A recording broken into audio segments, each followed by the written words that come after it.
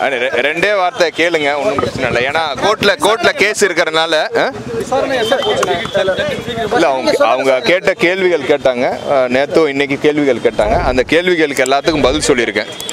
Sir என்ன ஒரு ஒரு நிமிஷம் ஒரு நிமிஷம் கேஸ் சம்பந்தமா கேள்விகள் கேட்டாங்க. அவங்களுக்கு பதில் சொல்லியிருக்கேன். சரிங்களா?